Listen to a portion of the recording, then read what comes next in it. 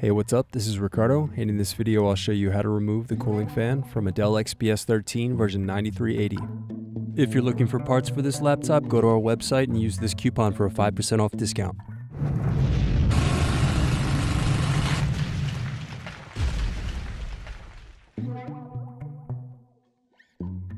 First unscrew, then use fingers to gently separate and remove base cover.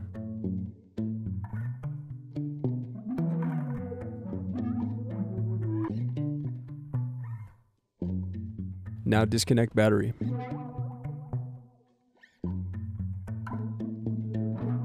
Then unscrew and disconnect bracket and camera cable.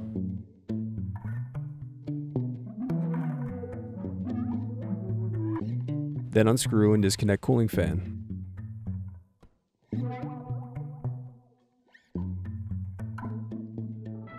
Thanks for watching.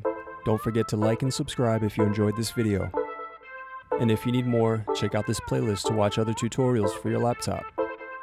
You can also click here to find parts for your laptop at partspeople.com.